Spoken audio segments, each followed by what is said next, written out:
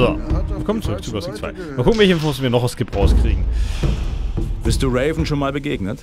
Allerdings, ich war bei Henry vorne am Tor. Da habe ich gesehen, wie Raven einige von seinen Jungs bei dem Turm im Süden postiert hat.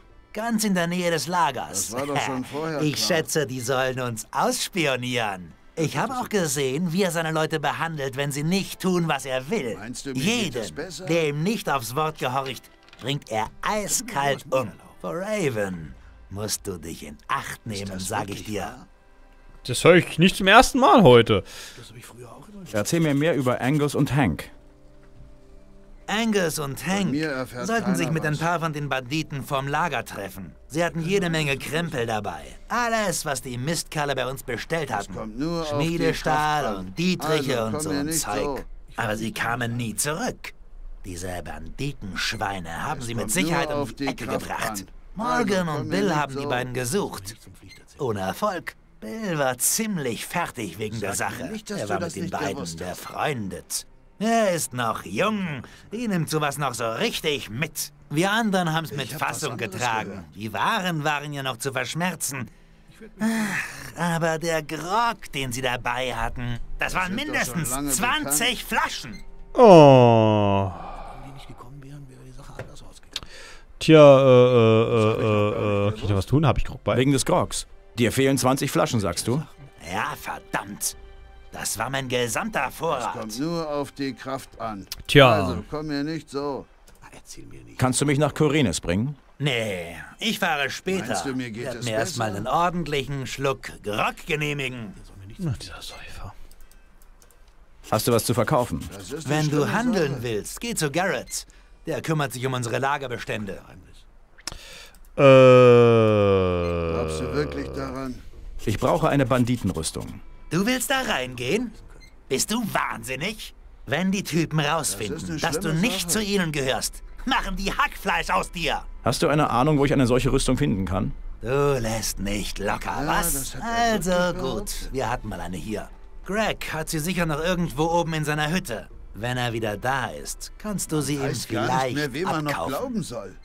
Äh. Hast du eine Ahnung, wie ich in die Hütte komme? Au, au, au, mir au, au, immer was. langsam. Du willst dich doch nicht so einfach an Gregs Krempel vergreifen. Als Nein, er nie. abfuhr, hat er Francis den Schlüssel gegeben und ihm befohlen, niemanden in seine Hütte zu lassen. Ja. Äh, Was kannst du mir über Francis erzählen? an. Francis Also, ist unser. Schatzmeister. Der Captain vertraut ihm. Deswegen hat er ihm auch wohl das Kommando übergeben. Obwohl ihn keiner von den Jungs hier wirklich ernst nimmt. Wenn du mehr wissen willst, rede mit Samuel. Er hat in der kleinen Höhle nördlich von hier seine Schnapsbrennerei. Es gibt niemanden hier im Lager, über den Samuel nicht eine Menge weiß. das er mir du, so einfach. Wegen des Grogs. Dir fehlen 20... Ja, ich die irgendwo rausplündern kann. Ja, Taschendiebstahl kann ich leider nicht so gut, kann ne? ich ihm auch nicht mehr Hab ich mit Brandon schon geredet? Sieh an, ein Neuling. Und eine Landratte noch dazu. Bist Okay. ein bisschen dürr für einen Piraten. Tja. Kannst du mir was beibringen? Dir? Jede Wette. Ich könnte... Aber warum? Weil ich dir einen Drink spendiere? Nicht schlecht, Kleiner. Du hast direkt ins Schwarze getroffen. Aber komm ja bloß nicht mit so einem billigen Fusel an. Tja. Ich besorg dir einen Grog. Willst du mich vergiften? Mit der Brühe kannst du mich jagen. Weißt du, was da drin ist? Der alte Samuel hat auch gutes Zeug. Hol was davon. Hast du schon mal Samuels Spezialrezept probiert? Nein, noch nicht. Dann halt dich ran. Das musst du probiert haben. Ich liebe das Teufelszeug. Äh, wer redet auch so komisch? Bist neu hier, was? Gut. Wir können jeden Mann gebrauchen. Äh. Wie sieht's aus? Im Moment ist es ruhig im Lager. Also werde ich mich ein bisschen entspannen. Und an deiner Stelle, ja, würde ich dir das Gleiche empfehlen. Seit die Banditen da sind, kann sich das schneller ändern, als uns lieb ist. Mhm. Was weißt du über die Banditen? Du meinst, außer dass sie mordsgefährlich und uns zahlmäßig weit überlegen sind? Ja, Sie haben Gold wie Heu. Nun zumindest hatten sie Gold wie Heu. Ihre letzte Lieferung haben sie nicht bezahlt. Aber ich bezweifle, dass das daran liegt, dass den Mistkerlen das Gold ausgegangen ist. Ich denke eher, sie sind komplett größenwahnsinnig geworden. Ist aber interessant, dass der Pirat, das, das ist eigentlich eine ziemliche Einsicht, oder? Zu sagen mit, naja, vielleicht haben sie das, äh, das ist, also darüber überhaupt nachzudenken, warum sie nicht, das nicht gezahlt haben und warum sie nicht gezahlt haben, das, das, ist, ja schon, das ist ja schon eine ernsthafte Überlegung, oder? Na gut, äh. Was weißt du über Francis? Du meinst außer, dass er faul und unfähig ist? Ja. Lass mich mal überlegen. Nein, äh, mir fällt sonst nichts ein. Hey. Puh, diese Hitze am Feuer macht durstig. Sag mal, hast du einen Grog für mich? Gewusst. Habe ich? Hier, nimm einen Schluck. Danke, Mann. Boah! Wo hab ich den denn geplündert? daran? Was kannst du mir über Francis erzählen? Francis, der spielt sich auf, als wäre er unser Captain. Aber wart mal ab, wenn Greg wieder da ist. Dann kriecht er wieder unter seinen Stein und ist klein wie ein Flusskrebs. Wenn du mich fragst, verarscht er uns alle. Ich wette, er arbeitet in die eigene Tasche. Von mir hast du das nicht. Und solange es keine Beweise gibt, würde ich das an deiner Stelle auch nicht laut rumerzählen. Tja. Was machst du so? Ich muss mich um die gefräßige Mannschaft hier kümmern. Deswegen stehe ich hier Tag und. Nacht und brate mir einen Wolf. Dabei würde ich viel lieber am Strand und im seichten Wasser nach angespültem Treibgut suchen. Letzte Woche ist vor der Küste ein fettes Handelsschiff auf Riff gelaufen. Und die ganzen guten Sachen werden jetzt an Land gespült. Warum klingt der mal Hoffentlich löst anders? mich hier bald mal einer ab. Äh. Und sonst? Ja, das Francis ist eine absolute Pfeife. Alles läuft hier drunter und drüber, seit der Lageranführer ist. Von selbst Und ist sonst? er da nicht drauf Francis-. Na gut. Also außer dass er anscheinend zwei Persönlichkeiten, die jemand da oben ist, Francis? Das ist doch alles nur Gerede. Jo, aber den reden wir als letztes. Erstmal Infos reinholen. Ich sollte doch irgendjemand Fleisch geben, oder? Das ist doch schon lange bekannt. Bill? Alles klar bei dir? Was ist los? Schickt Henry dich zu mir? Kannst ihm sagen, er bekommt seine Bretter, sobald ich fertig bin. Wenn ihm das nicht passt, kann er sie auch gerne selber sägen. Tja. Was machst du mit den Brettern? Die sind für die Palisade, du Depp. Greg hält es für eine gute Idee, unser Lager damit zu sichern. Also, wenn du mich fragst, können wir uns die Arbeit sparen.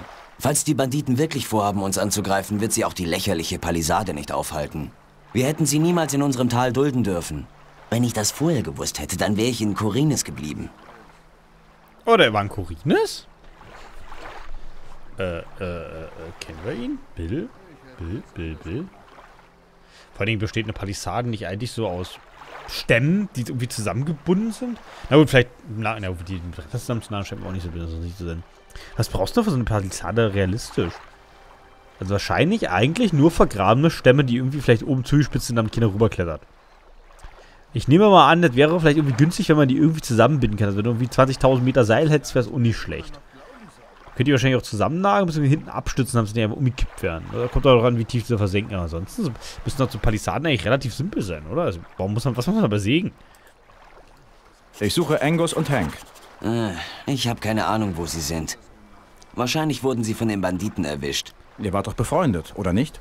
Alles, was ich weiß, ist, dass sie sich in einer Höhle hier in der Nähe mit den Banditen treffen wollten. Sie muss irgendwo außerhalb unseres Lagers im Osten sein. Wo genau, weiß ich nicht. Ich bin selbst nie da gewesen. Am besten du fragst Alligator Jack mal danach. Der treibt sich doch ständig vorm Lager herum. Ha. Du warst in Korines? Ja, ich habe mich da mit Taschendiebstählen und kleinen Gaunereien über Wasser gehalten. Aber Aha. als immer weniger Schiffe kamen, gingen die Geschäfte immer schlechter. Irgendwann hatte ich keine Lust mehr für ein paar Krumen Brot vor der Miliz wegzulaufen. Ich habe mich dann Greg angeschlossen. Jetzt sitze ich hier fest. Äh, Den ganzen Tag am Sägen, um eine Palisade zu bauen, die sowieso keinem was bringt. Da glaubt doch jemand nicht an die Mission. Kannst du mir was beibringen? Nun, ich könnte dir zeigen, wie man andere Leute Taschen plündert, ohne dass sie etwas merken. Aber du solltest einigermaßen geschickt sein, sonst kommst du an die wirklich wertvollen Sachen nicht ran. Jo, jo, jo. Ähm, Taschendiebstahl. Es ist interessant, dass er das hier anbietet. Das klingt halt, das ist, ist halt total der rote Hering, dass das hier, das wahrscheinlich geht es darum, dass sich äh, Francis den Schlüssel aus der Tasche klauen kann. Kann ich dir beim Sägen helfen? Lass nur, ich schaff das schon. Ich bin noch nicht so lange dabei. Und wenn ich andere meine Arbeit machen lasse, komme ich hier nicht weit, verstehst du? Jo, okay. Wo ist jetzt der Typ mit dem Fleisch? Vor allem habe ich das nicht, dass ich das Fleisch schon verbraten habe. Es kommt nur Eigentlich möchte ich jetzt mit allen... Ah, nee, da hinten ist, glaube ich, noch Also, einer. komm mir nicht so. Was ist denn hier noch? Ein rostiges Schwert. Oder eine Pfanne. Er hat auf die falschen Leute gehört. Ja, ja, bestimmt. Pirat? Nee. Tück. Glaubst Hier ist du eine Wasserpfeife. Holder, je. Bier? Ah, ich kann doch mal ordentlich einen durchziehen. Hervorragend. Das ist eine schlimme Sache. Das ist so Shisha alleine ist, glaube ich, auch nicht so richtig entspannt, oder? Das ist doch alles nur Gerede. Ich krieg von Shisha immer wie doofes Halskratzen. Ich kenne das eigentlich nur als soziales Event. So, wer wird jetzt das Fleisch haben? Das habe ich noch gar nicht Ich habe wie immer nicht aufgepasst, zugegebenermaßen. Aber theoretisch müsste ich doch mit dem NPC, der das Fleisch haben sollte, schon gesprochen haben, Ich oder? hab Der da vorher hat keinen Namen. Ist hier noch irgendwie weiter? Oder ist der Typ, der Typ in der Höhle, der es auch haben will? Selbst ist da nicht drauf gekommen. Hm. Hier läuft doch so leichte Hafenmusik im Hintergrund. Das ist Wo immer die übrigens her... Ach, der liegt da hinten noch. Wer schläft denn hier am... Ach, morgen. Am helllichten Tag. Ah, was ist los? Äh, hier. Ich habe hier eine Lieferung Fleisch. Puh. Ich brauche erstmal einen Schluck zum Wachwerden. Ach, Wacholder. So, besser. Also nochmal. Was willst du? Ich bringe eine Lieferung Fleisch. Von Alligator Jack. Ich erinnere mich, genau. Das Fleisch, gib her. Was? Das ist alles? Hast den Rest selber gefressen, was? Naja. Egal. Naja, 9 von 10 ist gar nicht so schlecht. Oder war es, wo ich das Fleisch aus dem verbraten habe? Na gut, äh... Was machst du hier? Greg hat mir das Kommando über einen der beiden Entertrops gegeben. Ich bin für die Versorgung des Lagers zuständig. Darum kümmert sich Alligator Jack. Außerdem bin ich dafür verantwortlich, dass die Biester hier in der Gegend nicht zu nah ans Lager kommen. Darum kümmern sich die Jungs. Ich habe ihnen gesagt, ich will hier kein einziges Vieh mehr in der Nähe sehen. Wenn Greg zurückkommt.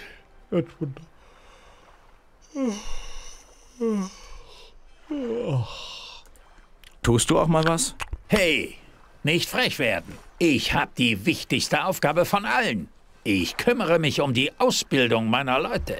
Ich mache sie zu den besten und furchtlosesten Kämpfern, die jemals auf diesen Gewässern gekreuzt sind. Außerdem ist es ja nicht so, dass die Jungs nichts davon haben, ihre Arbeit zu machen. Sie bekommen einen ordentlichen Sack voll Gold dafür. Vom Dessert. Äh, achso, ich kann mich einen Schluss drauf anschließen. Das ist ja schön. Was hältst du von Francis? Der ist mir egal.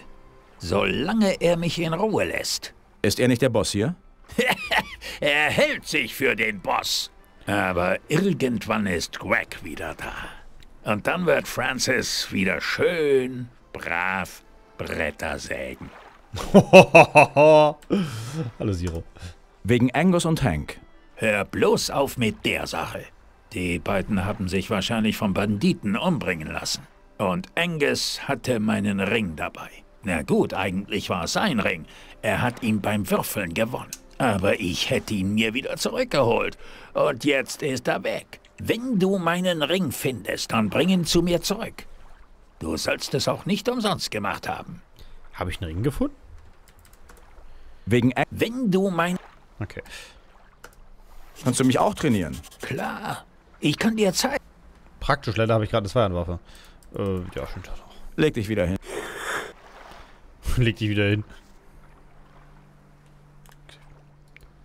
Sagt ein Arbeitskollege von mir auch immer. Noch viel spaßiger ist, der gute Mann ist technisch gesehen mein Vorgesetzter. Obwohl, jetzt ist man in einem Büro, jetzt macht das nicht mehr. Aber vorher hat das immer getan, wenn ich das wenn ich angerufen habe, wo ich noch im anderen Büro gesessen habe.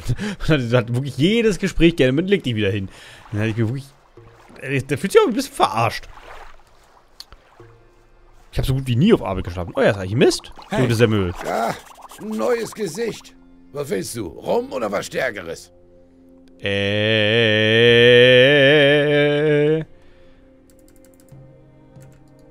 Ich will was Stärkeres. Ah, ein Suchender. Ich bin auch immer auf der Suche nach neuen Rezepten. Ein echter Schnaps sollte klar und stark sein. Er muss die Kehle runterfließen wie flüssiges Feuer. Das findet man verdammt selten. Aber ich rede wieder zu viel. Du willst was trinken. Hier, mein eigenes Rezept. Wie findest du das? Es heißt schneller Hering. Beeindruckend.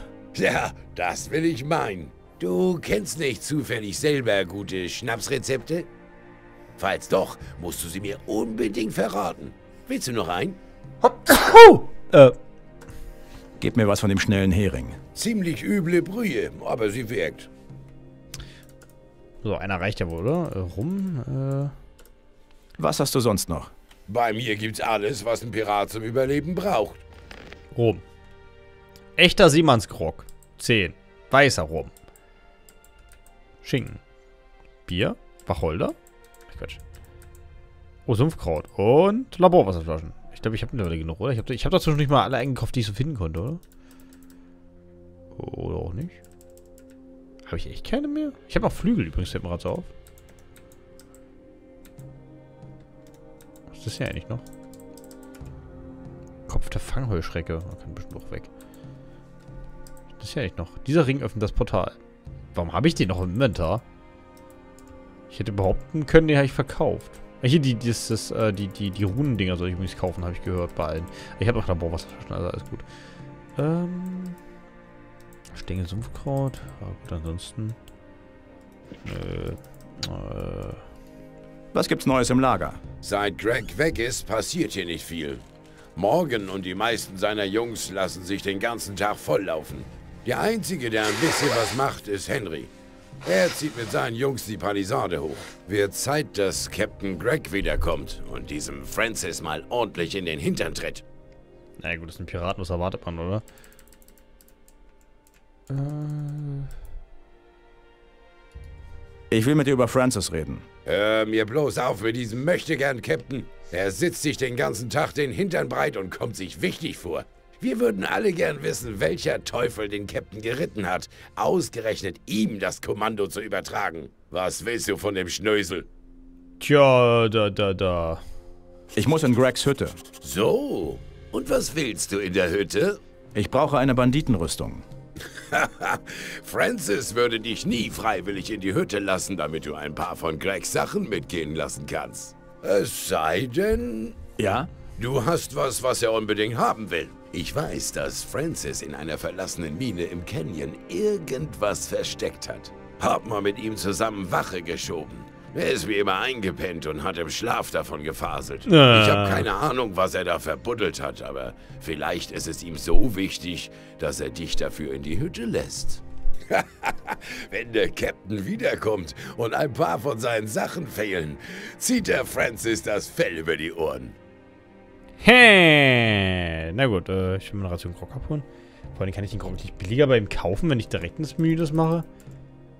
Äh, Bei mir echter Seemannsgrog. Na gut, der kostet auch 10. Aber es ist definitiv komfortabler, ihn so zu kaufen. Na gut. Gib mir rum. Gib mir rum. Ah, die Muttermilch. Jetzt habe ich Rum erhalten. Was ist der Unterschied zwischen jetzt Rum und, und, und das andere Zeug? Das, das müssen wir jetzt mal evaluieren hier. Äh, wie viele Plätze kann das Inventar haben? 1024, ja? Weißer Rum. Also ich, ich habe zwar gerade noch Exilgeschwindigkeit, Dauer, kurze Sprinten, Stärke bonus 3, Exil der Stärke. Die sind ja dauerhaft, oder? Die will ich ja noch nicht trinken. Extrakt der Heilung? Lebensenergie bonus 70? Ne, das heilt nur, ne? Genau. Ah, wo ist jetzt der Rum rum? Sieht gefährlich aus. Wirken bekannt. Neben, Nebenwirken wahrscheinlich. Ach, das ist der, der schnelle Hering, nehme ich an. Ja, das können wir die anderen Typen bringen. So, kann ich, guck mal. Ne, ich wollte echt einen Rum, ich wollte echt einen Rum vom Tisch klauen.